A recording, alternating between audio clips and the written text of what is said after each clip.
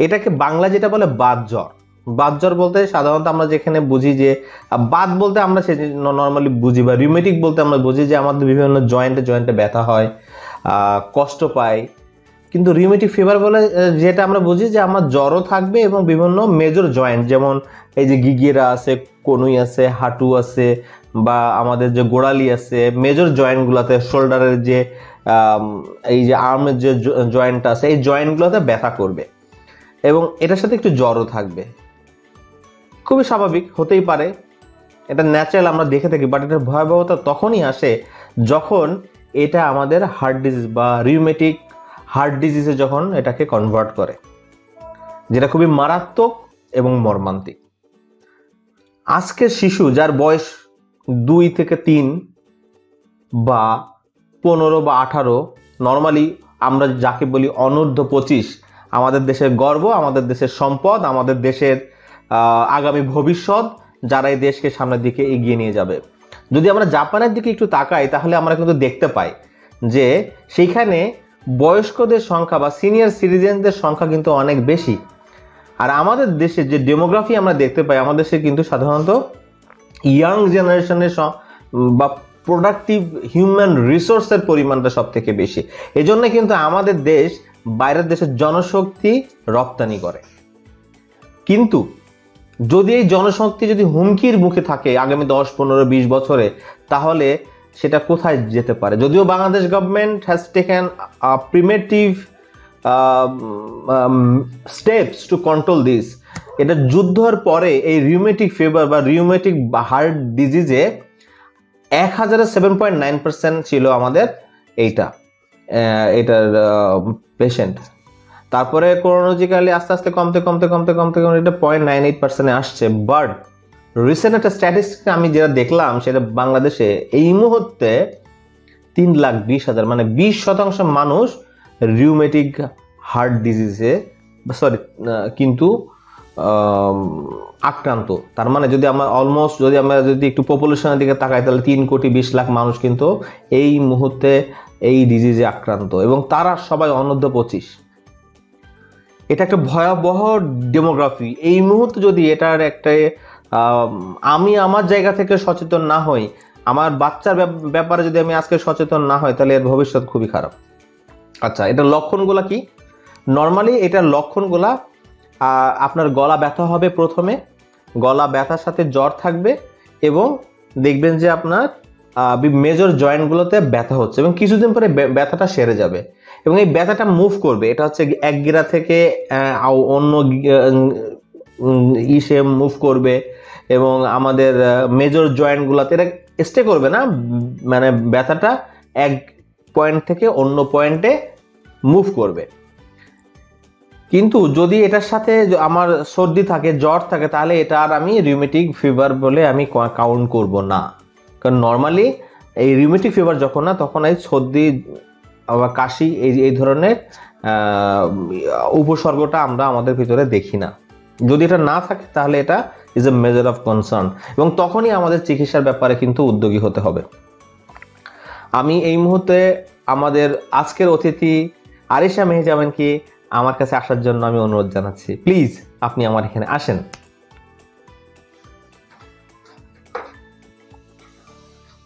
আচ্ছা।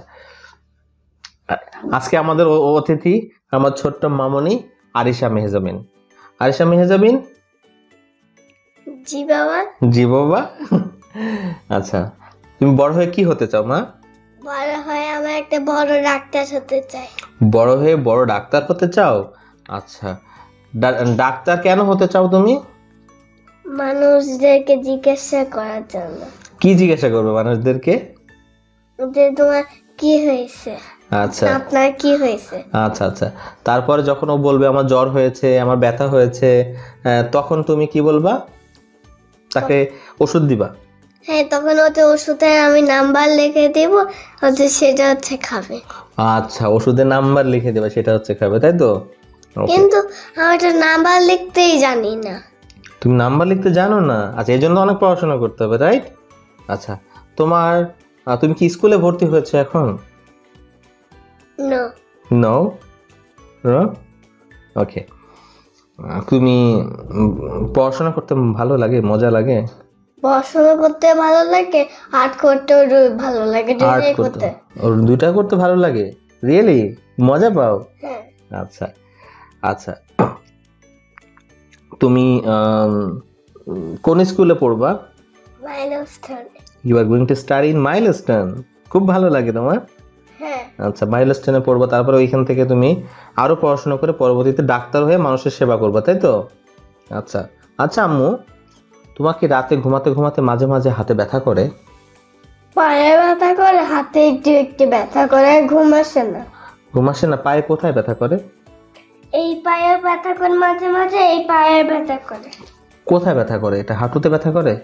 হ্যাঁ এই- এই পা- এই পায়ের পাতায় ব্যথা করে। পায়ের পাতায় ব্যথা করে আচ্ছা আচ্ছা। খুব ব্যথা করে? ঘুম আসে না? কষ্ট হয়? হ্যাঁ? হ্যাঁ। ওকে। আর আম্মুকে আম্মুকে ডাকলে পার আম্মু বকা দেবে। ও আচ্ছা আম্মুকে ডাকলে বকা দিবে বলে এই জন্য তুমি আম্মুকে ডাকো না? ওকে। না আম্মু বকা দিবে না তুমি আম্মুকে ডাকবা আব্বুকে ডাকবা হ্যাঁ আম্মুকে ডাকবা আব্বুকে ডাকবা। তারপরে আমি পা নিজে নিজেই ইয়ে করি। তুমি নিজে নিজেই করো। ও তুমি তো লক্ষ্মী মা? পরে পরে আব্বু তোমার যদি একটু কম কম দাও তারপর আমি নিজে নিজে আবার ইয়ে করে নিই। তখন ঠিক হয়ে যায়। আচ্ছা আচ্ছা আচ্ছা। তুমি তো অনেক অনেক লক্ষ্মী। মাথায় বুদ্ধি আছে। তোমার মাথায় বুদ্ধি আছে? Oh good. হ্যাঁ তুমি তো ডাক্তার হবে। তোমাকে তো একটু মাথায় বুদ্ধি থাকতেই হবে তাই না মা? হুম? ওকে তুমি আর তুমি আমাদের দর্শকদের জন্য কি বলতে চাও? যে সবাই ভালোভাবে সুস্থভাবে থাক যেন হ্যাঁ? ঠিক আছে? আচ্ছা সবাইকে তুমি কিছু বলে একটা টাটা দিয়ে এখান থেকে বিদায় নাও। বলো? আসসালামু আলাইকুম আপনারা সবাই কেমন আলহামদুলিল্লাহ আমরা খুব ভালো আছি। আজকে আপনাদের সঙ্গে একটা ব্লগ নিয়ে চলে এসেছি। তো আমি আর আব্বু আর আপনাদের সঙ্গে কিছু কথা বলতে এসে খুব জরুরি কথা। তো আমরা এখন হচ্ছে আর কি বল কিছু মনে পাচ্ছে না। আচ্ছা ঠিক আছে তোমার কিছু বলতে হবে সবাইকে টাটা দিয়ে সালাম দিয়ে বিদায় নাও। আসসালামু আলাইকুম টাটা। ওকে ঠিক আছে। যাও। আচ্ছা আপনারা দেখলেন যে একটি কোমল মৃত্যু একটা মানে কোমলমতি শিশু যে বড় হয়ে ডাক্তার হতে চায়, সেই শিশু যদি বড় হয়ে ডাক্তার না হয়ে পেশেন্টের বেডে শুয়ে থাকে, তাহলে আমাদের আগামী প্রজন্ম দিকে কোথায় যেতে যাচ্ছে? এবং দিস ইজ দ্য থিং এটা নিয়ে আমি আলোচনা করতে চাচ্ছিলাম। কেন অবজেক্টটাকে আনলাম আমি? অবজেক্টটা আনলাম আপনাদের ভিজুয়ালাইজ করার জন্য। যে আজকে শিশু কিছু হয়তো বোঝে না বাট একটা স্বপ্ন নিয়ে বড় হচ্ছে সে বড় হয়ে ডাক্তার হবে, সে বড় হয়ে মানুষকে সেবা করবে কিন্তু দিস রিউমেটিক ফেভারটা যদি রিউমেটিক হার্ট ডিজিজে টার্ন করে, তাহলে এই শিশুটাই তার যখন প্রোডাক্টিভ আওয়ার সে যখন প্রচণ্ড তার মেধাকে কাজে মানে এটাকে আসলে মানুষের জন্য সে উৎসর্গ করতে চায়, তখন সে যদি হসপিটালের বেডে একটি হতাশ হয়ে সে যদি থাকে, সে তার যদি জীবনের চারিদিকে সে অন্ধকার যদি হয়ে আসে তাহলে আপনার কেমন হবে? হ্যাঁ আমি বন্ধু, এটাই আমি আপনাদের সামনে আজকে তুলে ধরতে চেয়েছি। Rheumatic heart disease rheumatic fever যেটা হয়, সেটা যদি আমরা সময় মতো এটাকে চিকিৎসা নিই তিন সপ্তাহ, এক মাস বা তিন মাসের ভিতরে এটা ভালো হয়ে যায়। কিন্তু যদি ট্রিটমেন্টটা না হয় একটা ব্যাকটেরিয়ার কারণে আসলে এই ডিজিজটা হয়, সেটা হচ্ছে গ্রুপে গ্রুপে বেটা স্টেপটোকক্কাস সম্ভবত এটা এটা, এটার নাম।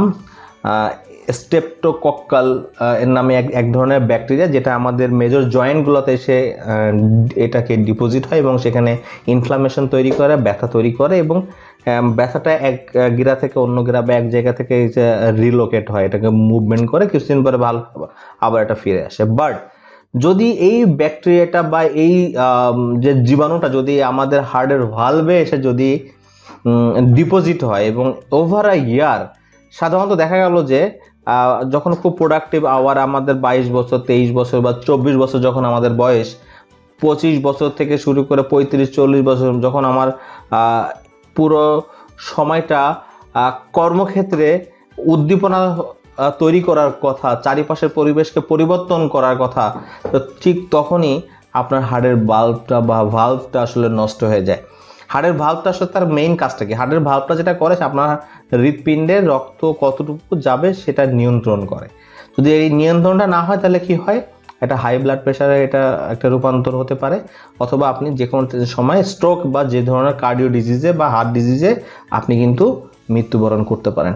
ঠিক এইটাকে মাথায় রেখে বাংলাদেশ সরকার জাইকার সাথে কম্বিনেশন করে national control national centre for control heart disease or rheumatic fever and heart disease sorry rheumatic fever and rheumatic heart disease এই বিষয় এটার সম্পর্কে একটা হসপিটাল বা একটা সেবাদান প্রতিষ্ঠান কিন্তু তৈরি করে। এবং এটা সব থেকে মজার ব্যাপার হচ্ছে, এটা সরদ্দি মেডিকেলের ভিতরে। আমি আমার এই চ্যানেলে সরদ্দি মেডিকেল সম্পর্কে একটা ভিডিও আমি অলরেডি দুটা ভিডিও আমি পাবলিশ করেছি।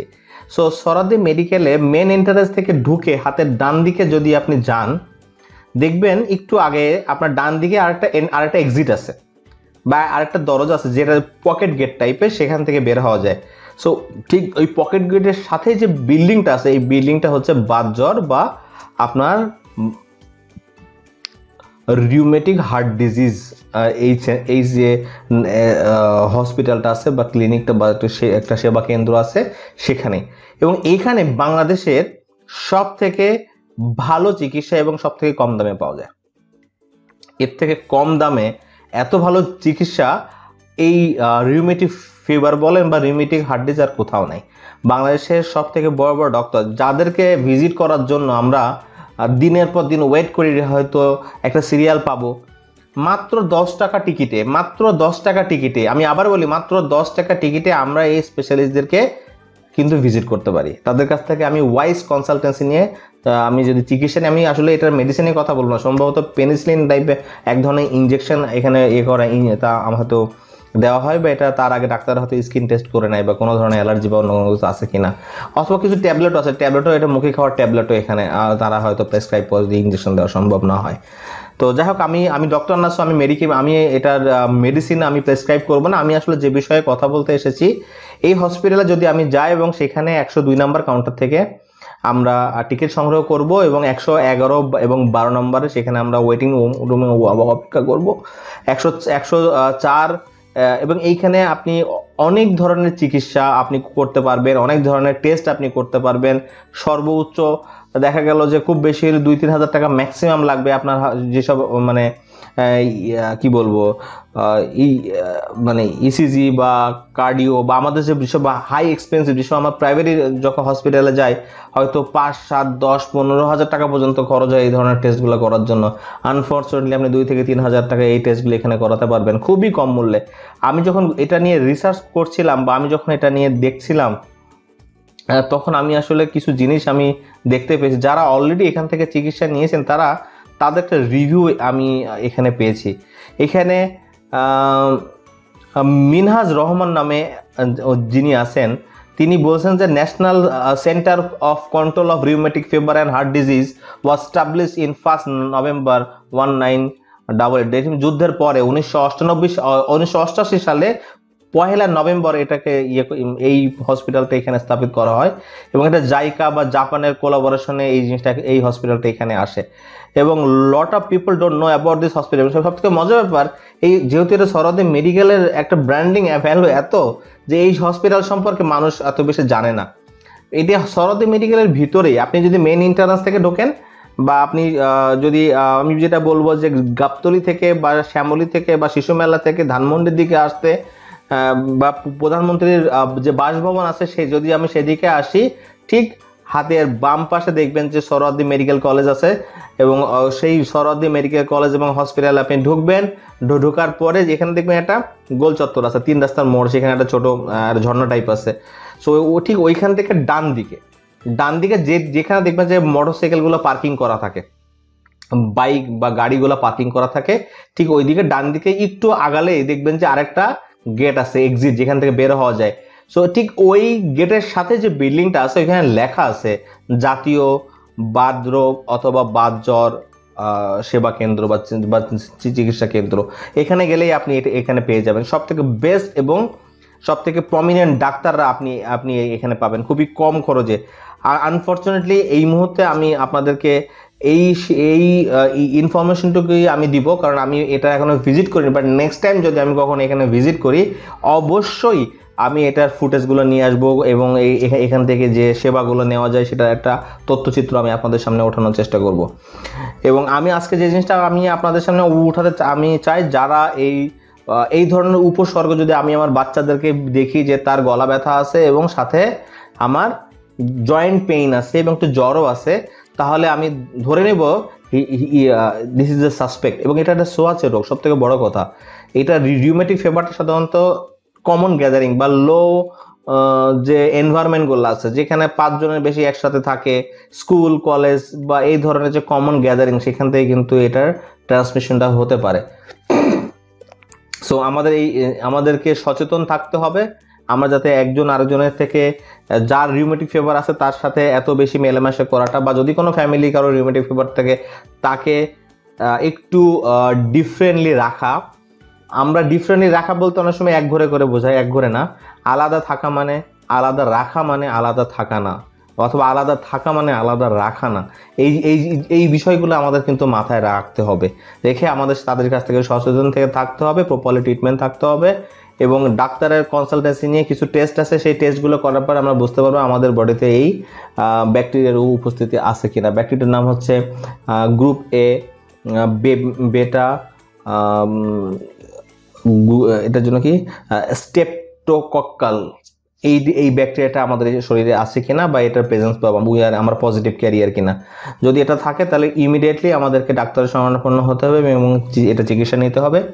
তিন সপ্তাহ অনেক সময় তিন মাস বা ছয় মাসও লাগে। এটা আসলে ডিজিজের লেন্থের ব্যাপারে। এই এই ডিজিজটা মারাত্মক হয় কেন?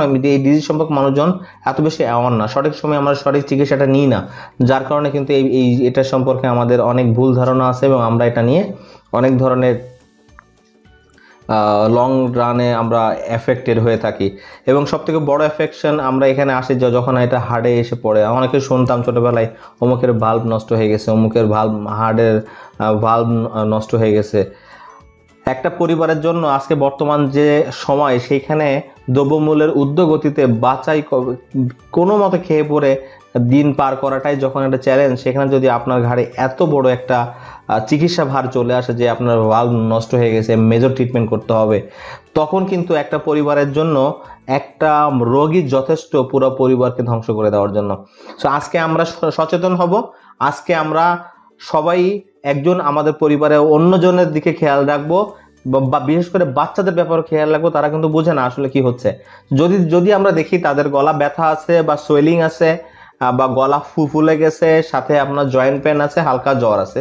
বাট যদি দেখিস না, সাথে সর্দি, কাশিও আছে, তাহলে এটা নিয়ে এত বেশি ওয়ারিড বা চিন্তিত হওয়ার কোনো কারণ নেই।